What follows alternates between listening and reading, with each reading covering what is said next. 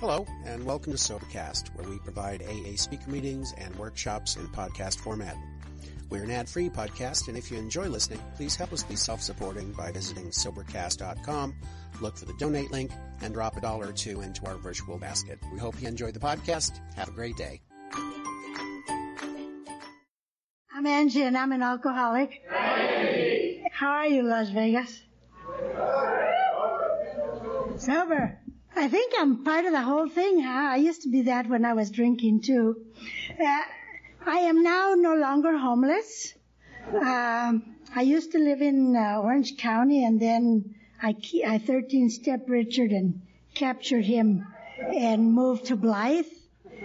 And then uh, his mother's house kicked me out of there, so my asthma got bad, so we moved to Huntington Beach and we lived in a I think it was an apartment, but it felt like I was living in a motel. And so now we live, we have a home in Beaumont, California, and it's another Egypt, but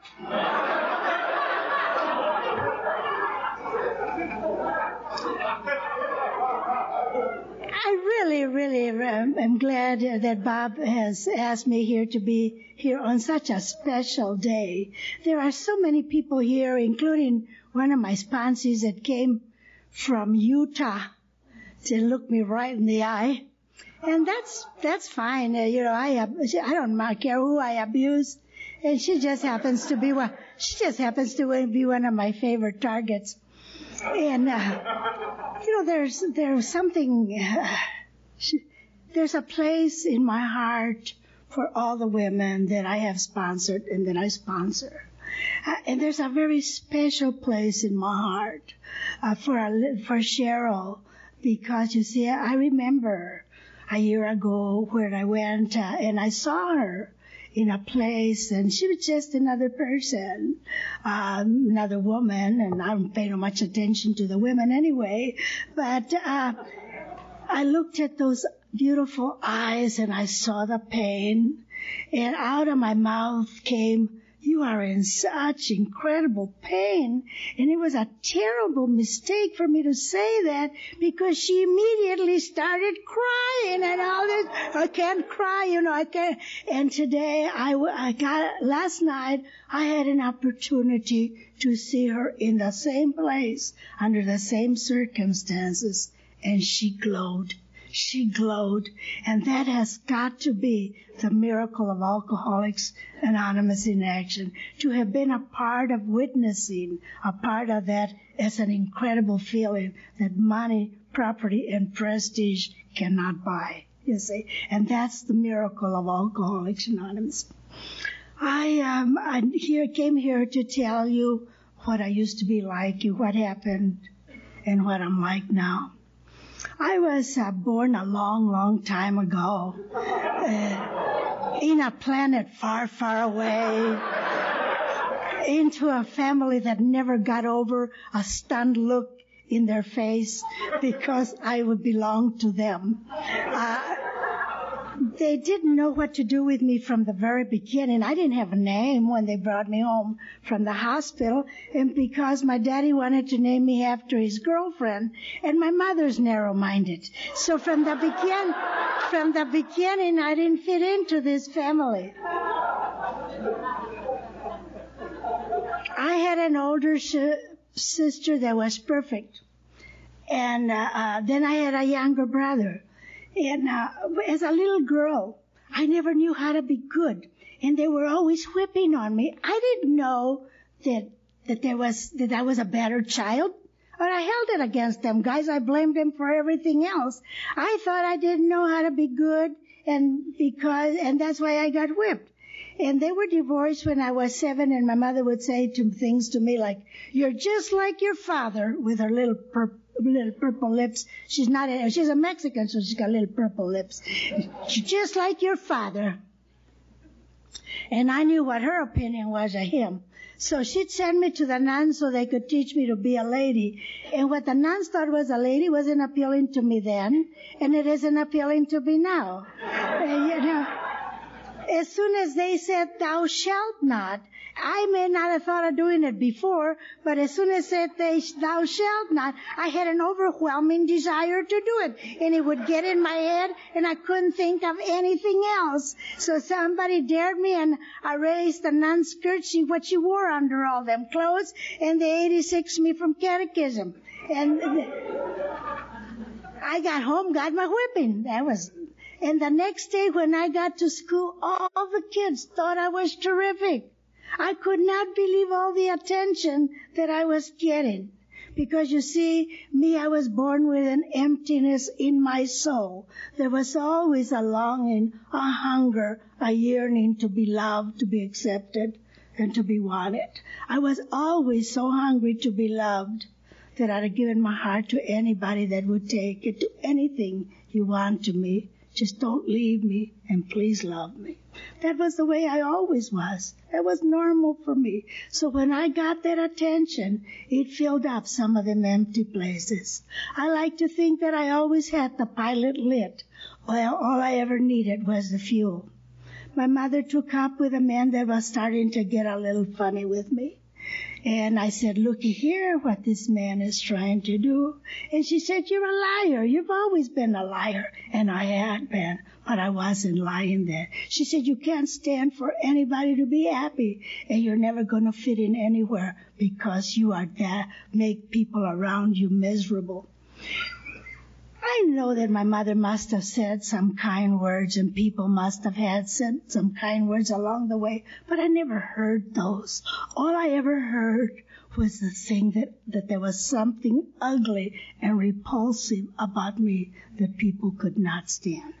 And I started, this is the time I started running away from me a long time before I ever took the drink. I would go and read books and I would hide myself in books and especially fairy tales for the princess and prince that comes and kisses the princess and they live happily ever after. And all I really wanted was somebody to love me and live happily ever after.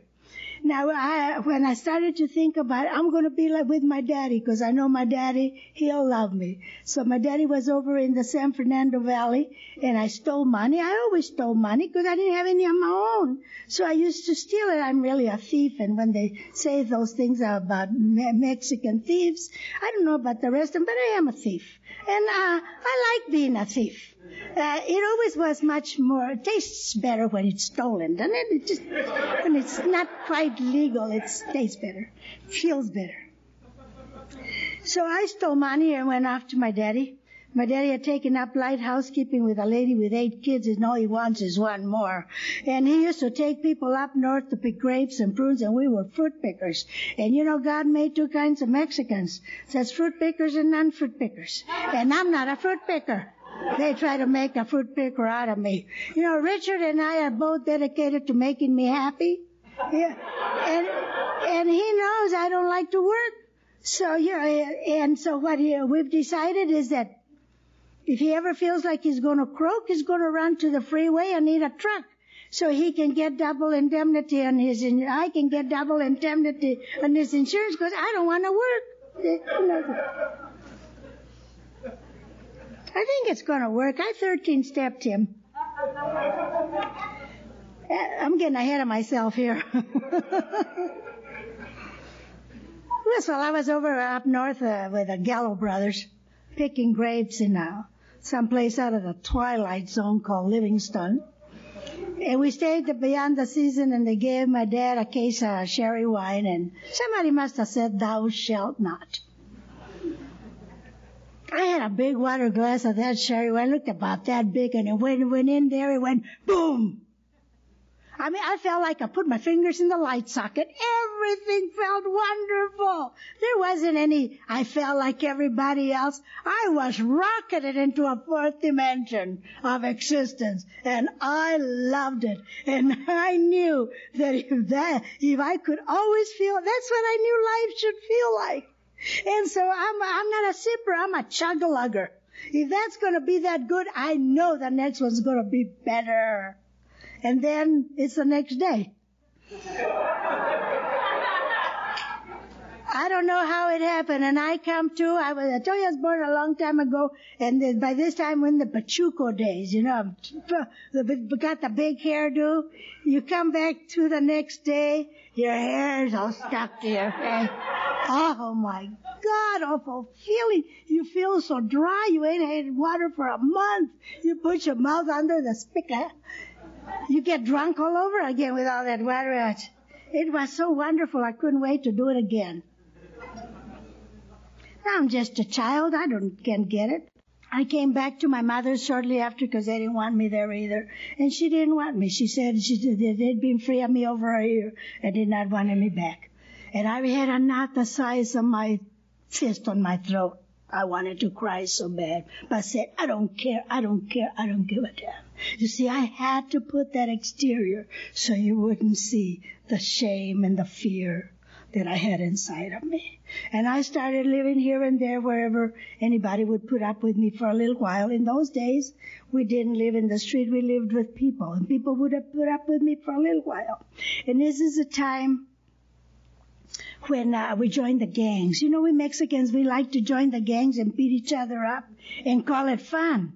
We have knifings and shootings, and we, people say, look at they're killing each other. We don't know we're going to kill each other. We're just having fun. Yes. I was one of the original topless, bottomless dancers in Orange County in them parties, and I don't even remember it. I don't even get paid for it.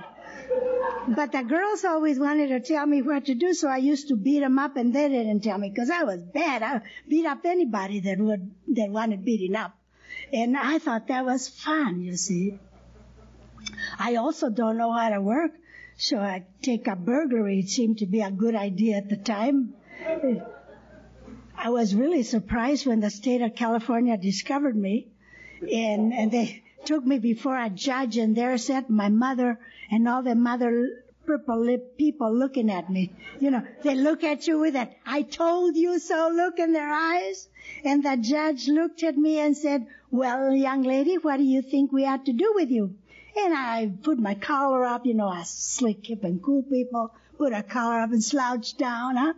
and said, you're the judge, man. You ought to know. You know, that was a wrong person to have that kind of an attitude with. He said me and my attitude to do a little bit of time for the state of California. You know, I didn't like it there. I don't like people telling me I can't go somewhere. So when they finally let me out, I took my first inventory. I don't have a job. I don't have a home. I don't have any money. I don't have any education. And I'm thinking, what in order? I can't go through with it. I better go find me a husband because God knows I need somebody to take care of me. And I went out looking for a husband in places that husbands are not to be looked for. And unfortunately for both of us, I found one. You know, there's a certain kind of man always caught my attention. They always had them really tight t-shirts and tattoos. I know everybody's got ink today, but in those days, only the bad boys had ink. And he just, he had Born to Lose, Mother. They walk with a little slouch, their hair all greasy, all teeth, shiny eyes. And they say, they almost dance when they walk, don't they? Say, what's happening, baby? Oh God, it just makes, still brings me chills all the way through. I used to think that look was charisma. Today I know it to be psychosis. Ah. My sponsor, Mary Reagan, used to say, Angie, you just can't make chicken salad out of chicken shit. But we tried, I tell you, we tried. He built them castles in the air and I lived in them. And three months later, we were pregnant and I was married.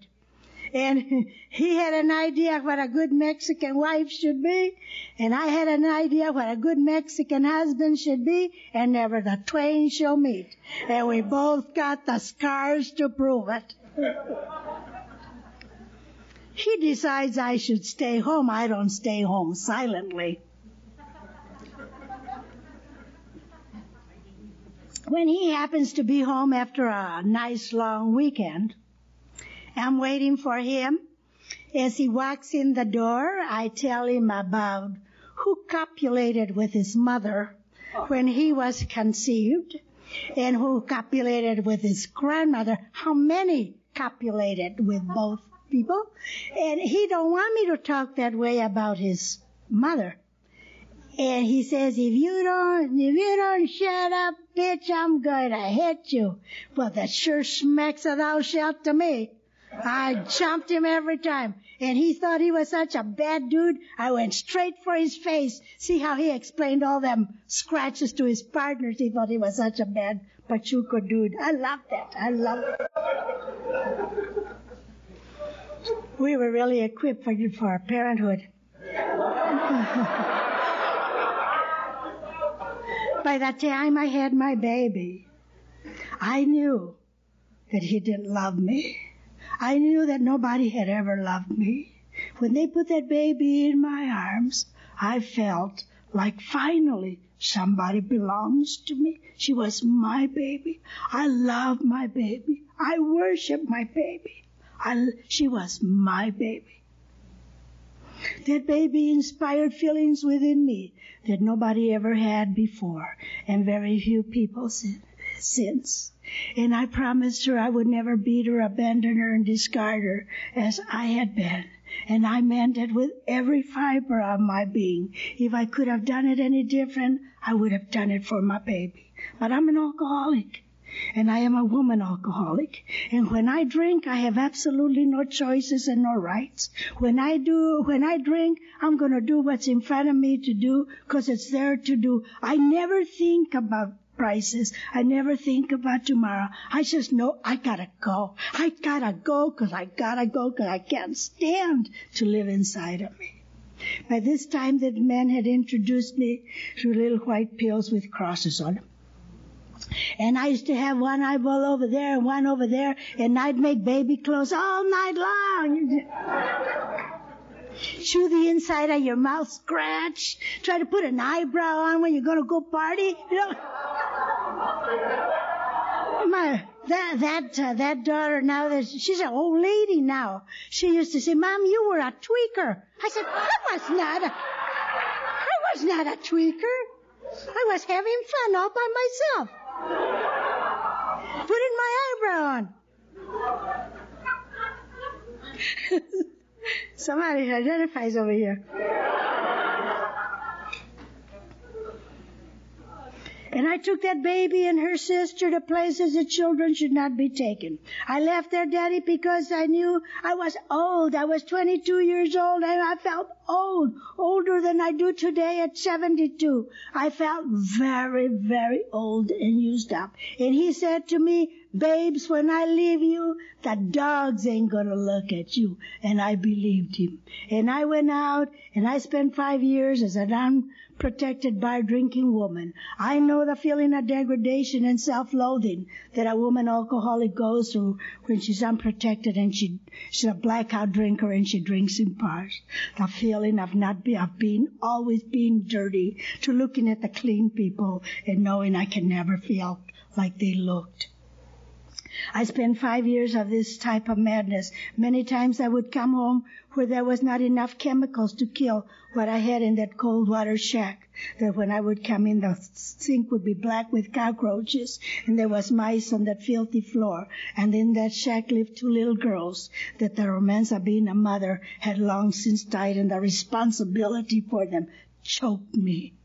They would have their little quarrels in whispers, and uh, because they were afraid when I would come to before my time, I would start screaming and yelling, and then I would start hitting, and I would hit and I hit, and I was like seeing somebody else, and I'd say, "For God's sakes, just stop and I wouldn't stop and I couldn't stop until I was spent and there was blood and tears. One time there was a little girl leaning in front of me and she said, Mommy, please don't beat me anymore. And many years later I heard that little voice say, Mommy, Mommy, please come and get me from jail. I can't stand it. And the first time well, I couldn't because of my disease. And the second time, I couldn't because of her disease. I heard somebody once say that whoever wrote the book, although I don't believe that any of the book should be changed, but whoever wrote in the book, we will not regret the past, nor wish to shut the door on it, could never, never have had the heart of a mother that beat her children, that abandoned her children, like I did, you see, because those pictures are always before me. I do not regret my experiences. I regret the journey that my children went through because of my me and my disease. You see that I do. And and I have to tell you now that that my children and I are friends today because they are both members of Alcoholics Anonymous. And that's down the road, but I want to tell those mothers that have the tremendous guilt and fathers too that their God makes it all okay. God all levels it out with time. With time and sobriety, it all gets leveled out. But I was not sober. I had some more drinking to do. That guy got out of the penitentiary, my first husband. I'm a multi-marrier. Uh, I've been um, married five times to three husbands, so you know, some some of us just got to do it over again. And uh, he sent pictures home and says, babes, this time is going to be different. And we made the Mexican geographic. We moved to uh, about half hour from Mama to a place called Mira Loma. Blythe had been called the armpit of California. My experience with Mira Loma was another part of the anatomy not worth mentioning. But because you see, it was there that every hope and every dream went out of my life, where my drinking changed. Before I had been a party girl and a bar drinker and um, all the bullshit that goes with that life. Now I became a bedroom drinker. I became a bedroom drinker because it was no longer fun. Being with people, people were just so repulsed by me. I was so abusive. I got to the place in my drinking that all I wanted to do was to drink and to drink and to drink.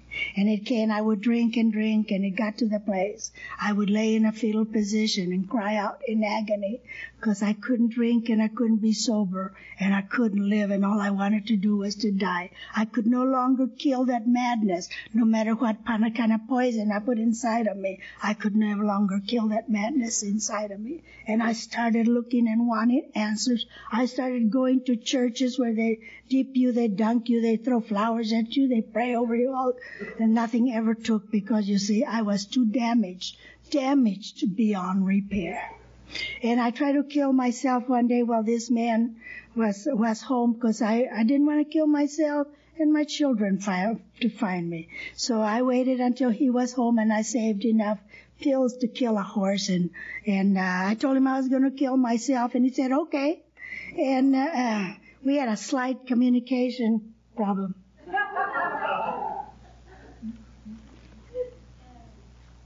and I went I went and took a bath you know, you gotta take a bath and make sure the house don't look too bad just in case them people come over. They won't know how you lived.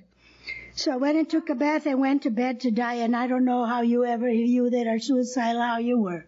But I was relieved that it was gonna be all over, that I didn't have to do it anymore. So when I came to a couple of days later, I was not glad to be alive. I was enraged to be alive because I couldn't drink and I couldn't be sober and I couldn't live and I couldn't die and there's no place else to go. There's nothing. This man had been in bed with me both nights while I was in that coma and never once did he consider taking me to a doctor or to a hospital. I came to with my pajama bottoms off. And you can imagine how I felt like a piece of used meat that nobody wants. I look upon that day that's got to be the loneliest, most despair day of my life, and I realize that my higher power has always had his hand on my life, even upon that day. There's a knock on the door as a lady from the PTA. If there's somebody I didn't want to see, it's a lady from the PTA. And there stood Mrs. Clean and said, Hi, she took one look at me and she said, what is wrong? I must have been downwind from her because, you know, I'd been in the same clothes for a couple of days and nights and I hadn't made it to the bathroom. I had uh, some accidents along the way, but you're a wine drinker, you have accidents. And um, in a moment of weakness, I let her in and I told her about my tale of woe. And uh, I think I spoke too long because she got a bright look in her eye. And she asked me if I ever heard of Al Anon. I'd never heard of Al-Anon, but I got the idea that if I went there, he would straighten up. I knew if he would straighten up, I'd be okay. And uh, so I was, she cleaned me up and took me to Al-Anon, and somehow I didn't fit in in Al-Anon now. I uh, felt a little bit like a whore within a nunnery. There was absolutely no identification between me and them square broads. But you know, they hugged, them clean ladies hugged me, and so I smiled at them. Someplace along the line, somebody had said I had a beautiful smile. So I gave him the smile. Probably somebody wanted more than the smile, but at your own risk. And so I gave him, I gave him that smile, uh, that the lights are on but nobody home smile. I found out later that they laughed at me. I thought I was fooling them. But I stayed throughout the meeting and them clean ladies hugged me. And I, it made me feel good to be with them. And then I went back into the garbage can. I went back into the hole. And, uh, well, that day, every so often she'd come get me and take me there. And, uh, uh, I didn't hear anything, but I heard the word release, and I told him in detail how I was going to release him. So he used to sleep with his clothes on and a knife under the pillow. And I sit in a corner with a black coat on and watch him. As he'd be a doze enough, I'd go take a little peek at him and go, whoa! God, I love that. That's better than sex. And that just, well, and he would say unkind things to me. He'd say, baby, I may have a monkey on my back, but you got an orangutan. I, I thought, how dare he? because bad luck comes in lunches. They found out in Al-Anon there was a fraud among them. And so they designated this poor soul that had inflicted me upon them to take me over to their husbands who they didn't like either.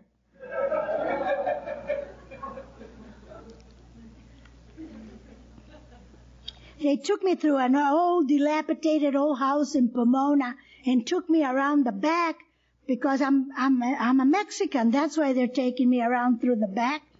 And then they took me through the kitchen. And now I knew the real reason is because them Al-Anons are standing around the kitchen doing whatever Al-Anons do in the kitchen.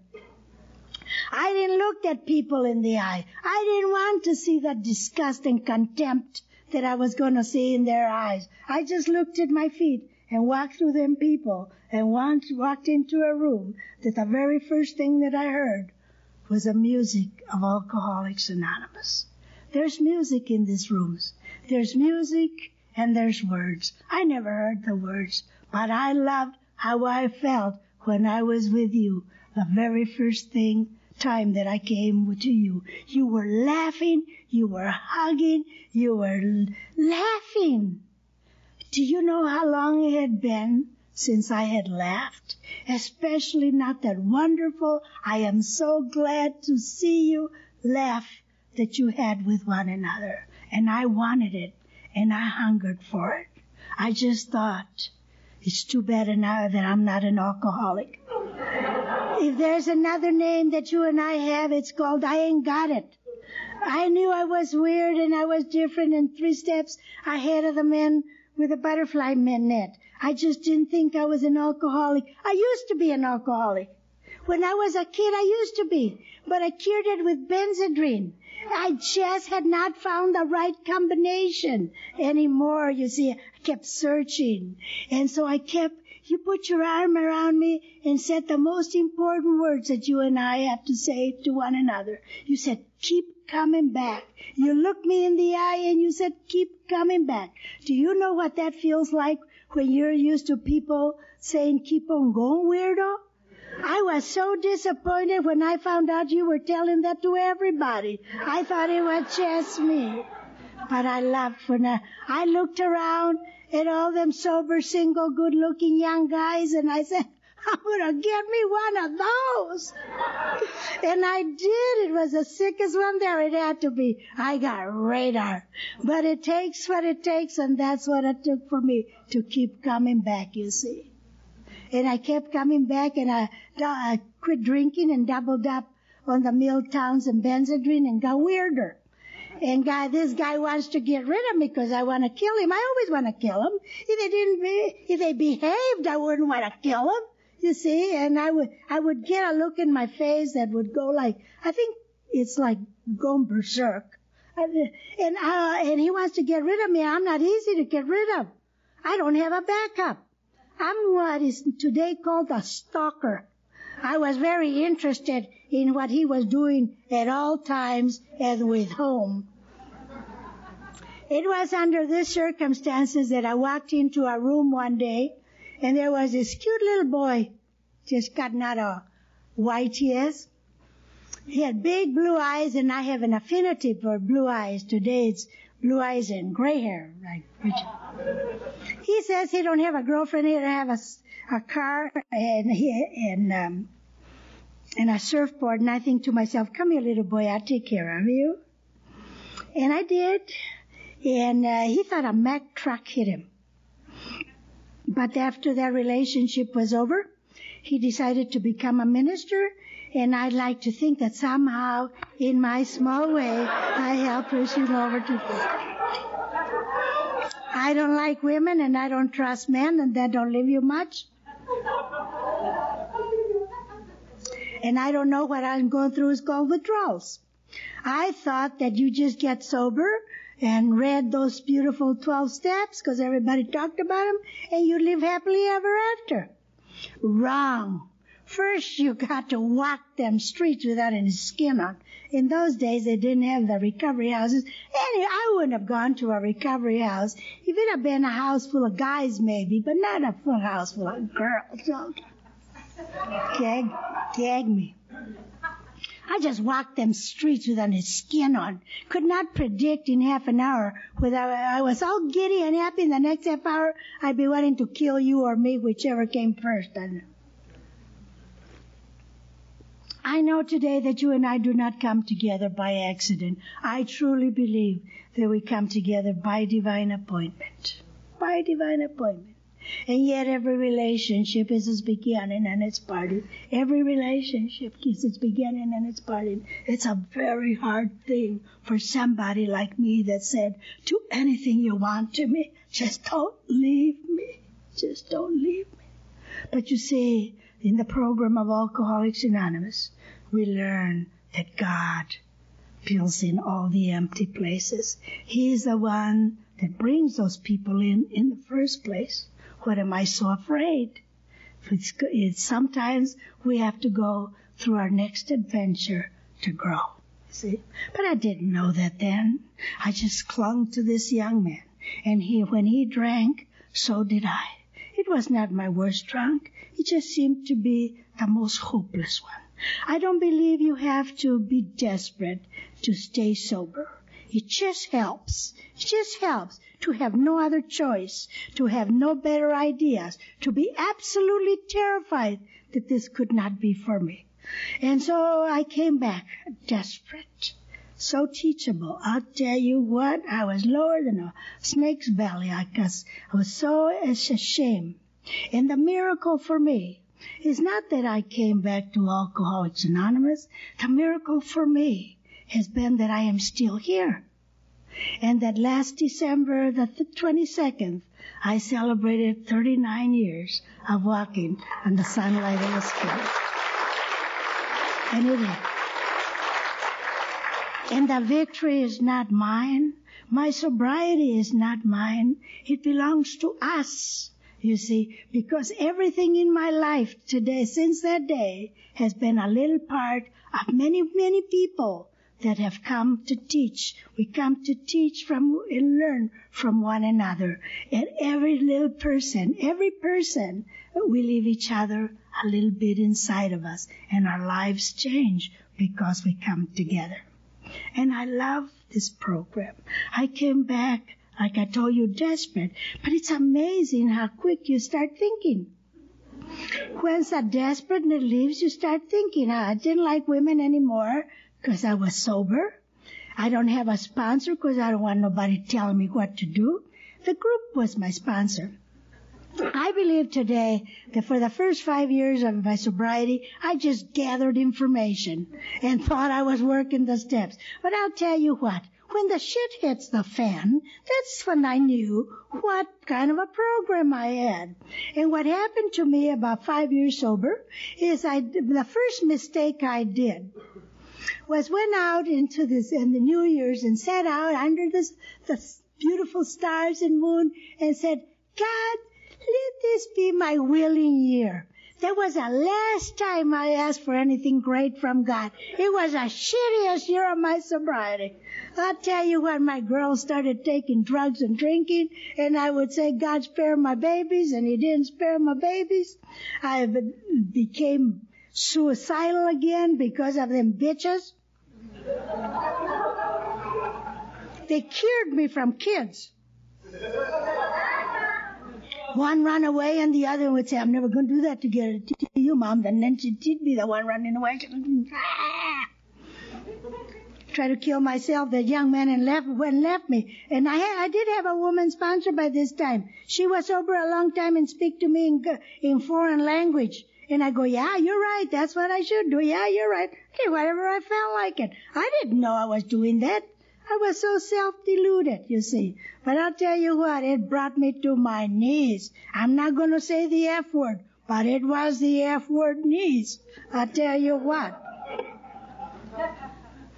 I got made peace with my higher power. I said, okay, God, you never want me to be happy again. All you want me to do is work with a sick women drunks and let them puke on me. All right, all right. and it's from the women in Alcoholics Anonymous that came around me at that time that, that taught me about being a woman. In Alcoholics Anonymous, we learned to be each other's mamas. I never had a mama. My mama died and we never really could quite get together. It was a, like a totally different communication. But in the women of Alcoholics Anonymous, I've learned to have sisters and I've learned to be a woman in Alcoholics Anonymous.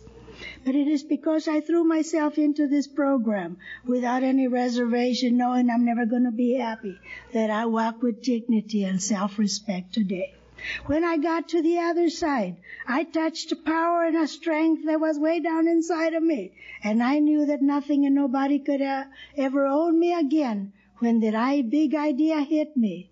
That nobody has it to give whatever I demanded from them. It comes from a power greater than myself, you see. And so my job since that day is to work these steps, to throw myself into this program. I never believed that the second step was real for me, because I thought as a twig is bent, so grows a tree. But I know that in this, in this program, God, the power, I called it a higher power because I couldn't stand the word God. I said the higher power writes straight lines with crooked pencils, and builds mansions out of rotten wood, and makes chicken salad out of chicken shit. I got another sponsor. This was my real sponsor. She talked to me in my language. She used to say things like, Angie, you don't have to sit your own shit just 'cause it's warm. Her name was Mary Reagan and she's, she saved my life. She was my sponsor for over, for almost 23 years and I loved her and she was mean to me, but I knew she loved me. I knew that I, was special to her. And you know, and we used to work together there's a man here that remembers when I used to work with her in the care unit. And uh, we, we worked for five years, and one day there was this cute guy come in through there.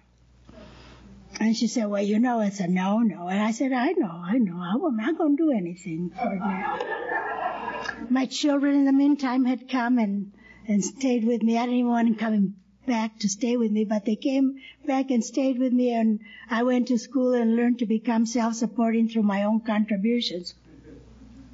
And when I was sober a while, I learned again what I had inside of me when my sister that had always been held up as an example for me chose to take her life, and it was my destiny to be the one to find her.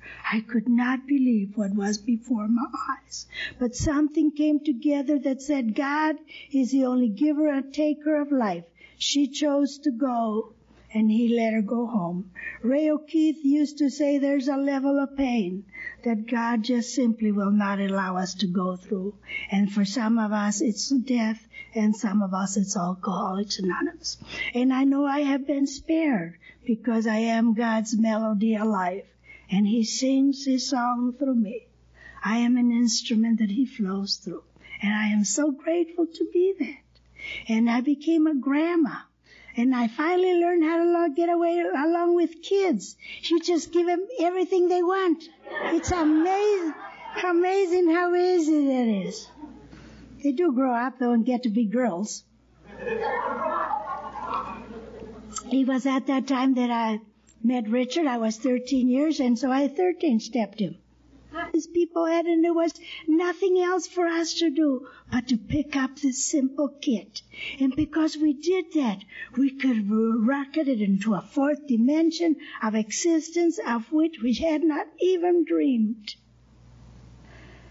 A great fact is that God, this and nothing less, that we have deep and effective spiritual experiences that have revolutionized our life and so on and so on. And I am here tonight because He has touched me and and through you and for you. Thank you.